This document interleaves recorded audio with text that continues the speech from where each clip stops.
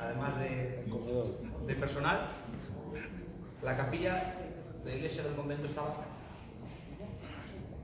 la inicial estaba aquí y no aquí del todo, incluso más pegada.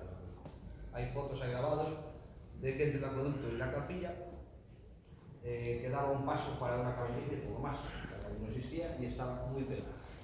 Problema, la espadaña del campanario amenaza ruina y amenaza con caer sobre el acueducto, con lo cual deciden tirarla y esto se queda muchos años como solar. Pasa como un alcázar. Esto era fachada, era pared exterior y esto era calle. Hasta el año 1945 que se decide edificar para hacer un, un salón de actos. Después de la guerra, pues la inflación es alta, el dinero no vale mucho y el dinero que hay solo da para hacer lo que es el edificio, pero no para decorar. Entonces, pues, ¿qué haremos otra vez? Pedir. El coronel vuelve a pedir a la señora Serpiría que donen para decorar el salón de actos.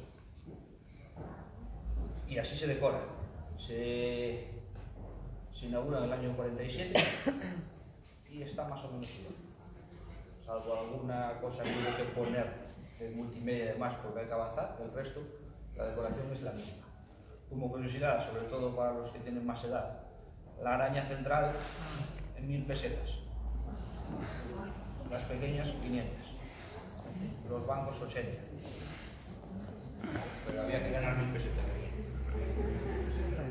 Uso del salón de actos. Eh, se usa bastante y nosotros lo usamos bastante poco. Esto lo usa más Segovia como ciudad y como provincia que nosotros y probablemente es el mayor vínculo que tiene la academia con Segovia. Nosotros a lo mejor viene algún jefazo a dar una charla a los alumnos, lo metemos aquí.